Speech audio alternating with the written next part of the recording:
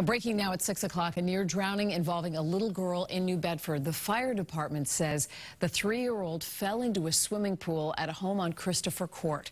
Her parents started CPR. Firefighters took over when they arrived, and they were able to resuscitate this three-year-old. She was then rushed to the hospital. Paramedics say that child had a good pulse.